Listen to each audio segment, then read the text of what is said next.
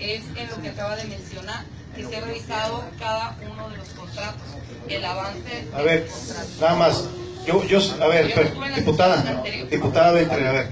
Nada más, yo sí quiero aquí hacer una moción, porque el compañero Temo Cávila está interviniendo, está interrumpiendo las participaciones. Yo sí quisiera, pues, eh, pedirte que te conduzcas con respeto para que pues, se pueda oír la participación de cada quien. Adelante.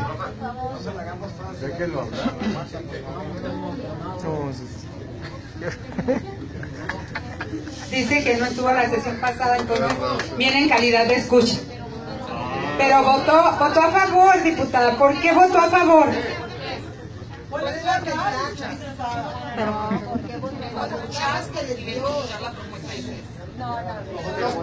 Pero ya votaste. ¿Por qué votó a favor?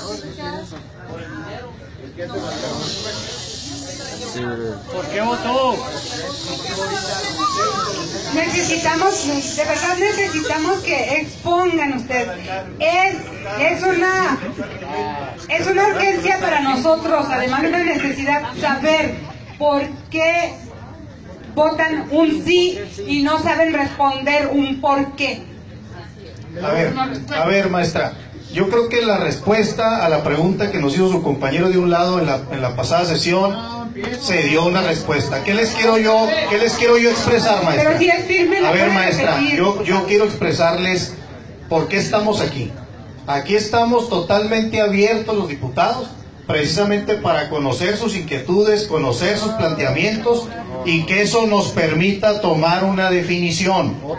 Y entonces, y entonces yo sí quiero también pedirles y decirles ¿verdad? claramente que lo que lo que nosotros queremos al estar aquí es precisamente escucharlos, saber realmente cuáles son los argumentos que ustedes exponen y que nos permita hacer esa consulta. Hablamos hasta de hacer un foro precisamente para poder escuchar otras opiniones también de los ciudadanos. Entonces, entonces yo creo que está muy claro aquí en qué momento estamos. Estamos hablando de que ustedes están planteando abrogar la ley de APPs.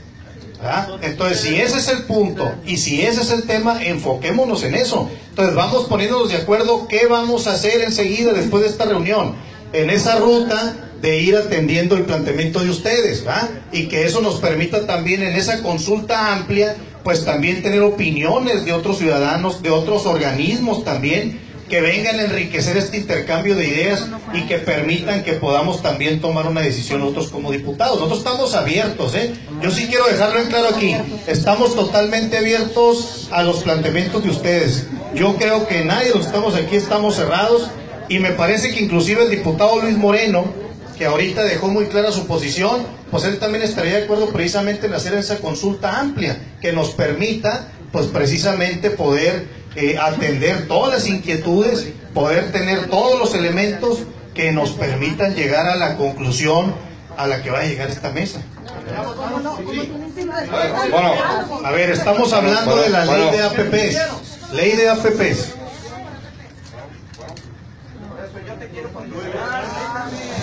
Bueno, bueno. Eh, bueno, yo creo que nadie está en desacuerdo con el foro. De hecho, por eso se, se les pidió. Este, la pregunta inmediata que me surge es ¿por qué no se hizo antes? Una, ¿no? O sea, antes de que se hubiera votado estas deudas que en algún, con el momento clímax, un momento cúspide, son de hasta 2 mil millones de pesos al, al año, entre, digamos, todos los proyectos, ¿no? Este, no todos los proyectos duran lo mismo, pero en un periodo todos los proyectos van a estar vigentes. Entonces, va- va- van a- la deuda anual de esos proyectos que están en el decreto 57 son de 2 mil más 2 mil